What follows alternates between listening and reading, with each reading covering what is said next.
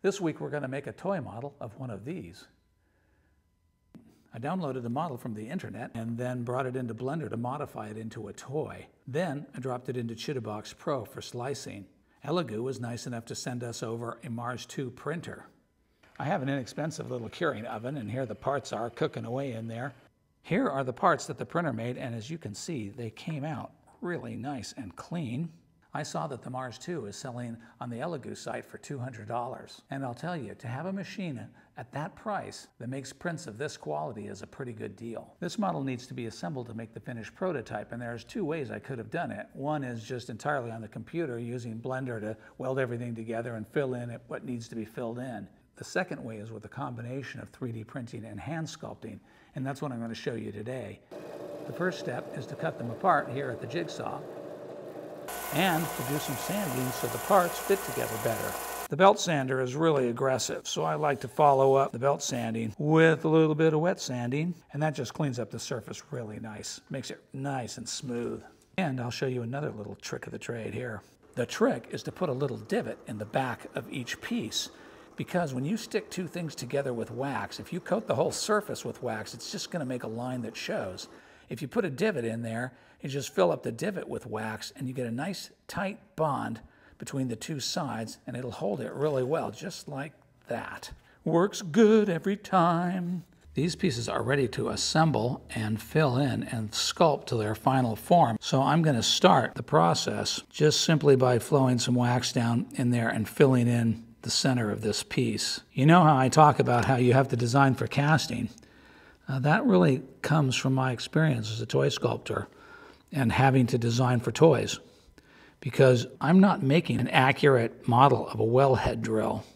I'm making a toy that looks as much like a wellhead drill as I can get it to look and yet still fit all of the parameters, the manufacturing parameters that I've got to hit. It doesn't do any good if I sculpt a prototype that can't be manufactured.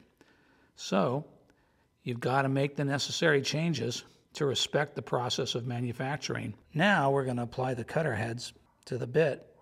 Wow, there's going to be a lot of filling in down in there still. Okay.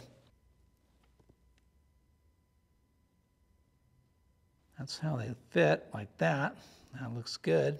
All right, now see down in that, down in there, you can still see we're going to have to do some filling in.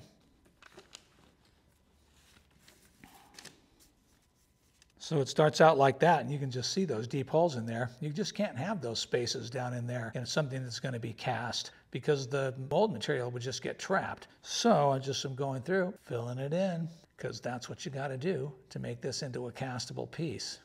The parts are all waxed up and ready to go, as you can see, and they're looking pretty nice, but now we're just going to clean them up and polish them.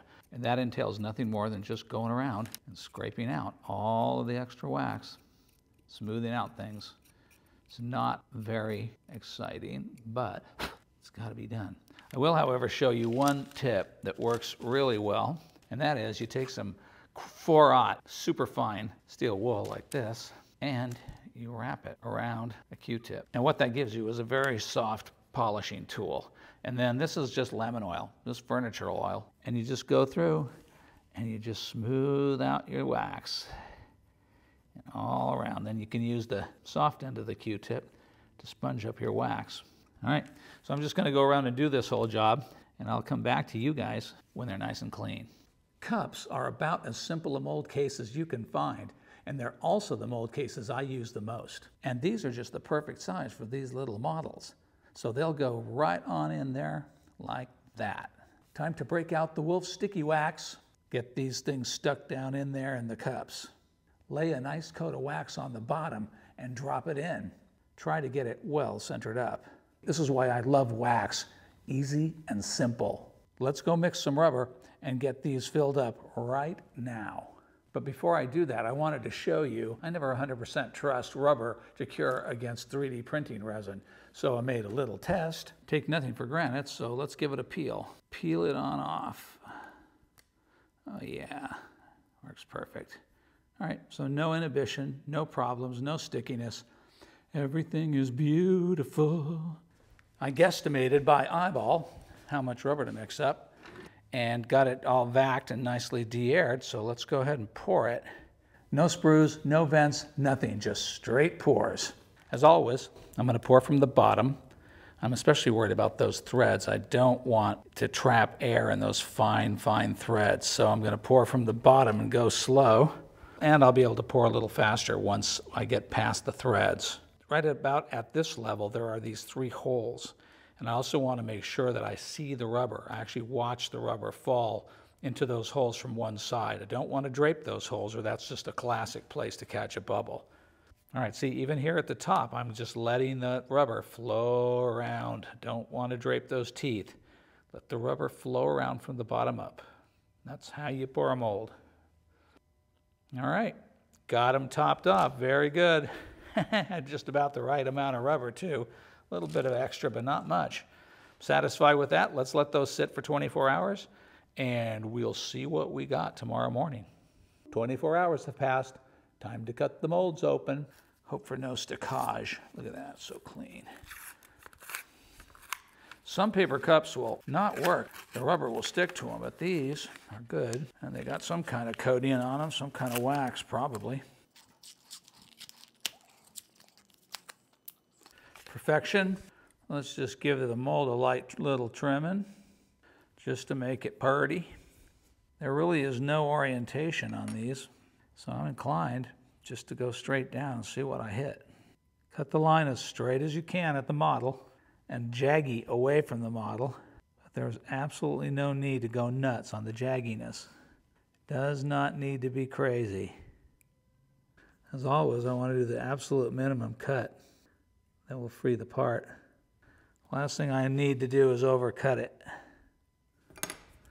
See if that'll come out. Right. Oh yeah.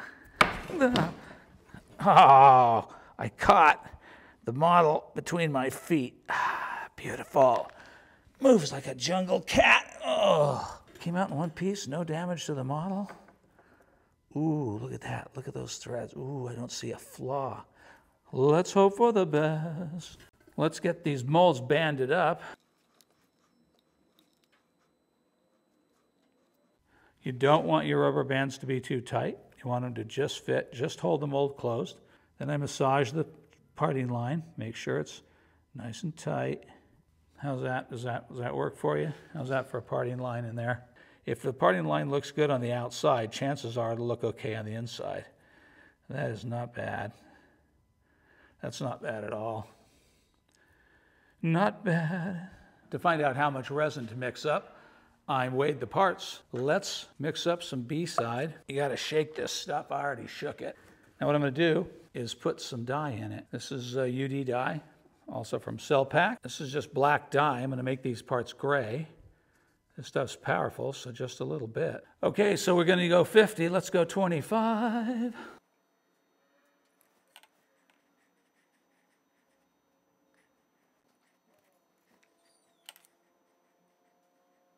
Okay, 50 grams.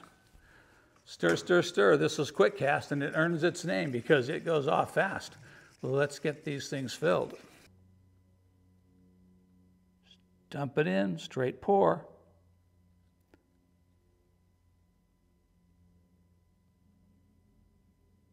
All right, top it off nice and neat. Okay, let's get these things into the tank.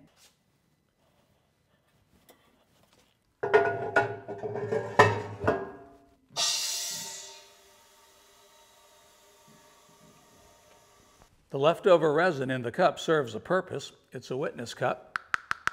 Tells us what's going on with the resin in the tank. It's ready to go. Let's pull it. And away we go. Fun times. This is what we wait for. Let's see what we got. Oh, yeah. Oh, nice. Absolutely nice. Tell you what, look at the parting line that that left on that part. That is what this entire channel is all about. Look at the fact that there is not a single bubble in sight. First one was good. Let's hope the second one's good. Second verse, same as the first. Very, very, very, very moderate parting line. Look at that parting line. See that? And not a bubble in sight. Nowhere is there a bubble. I'm really pleased with how these came out.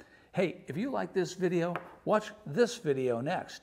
Hope you got something out of it, and I will see you next week. okay. What's next here? Oh, yeah. These.